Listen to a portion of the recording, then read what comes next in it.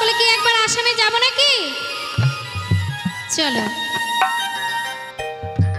ওই মনে করি আসামে যাব গেলে তোমায় আরে বাবু বলে কাম কাম, সাহেব বলে ধরিয়া। ওই সর্দার বলে লিব পিঠের চাম। হে যদুরা, ওরে ফাঁকি দিয়া চলাই নিয়া সা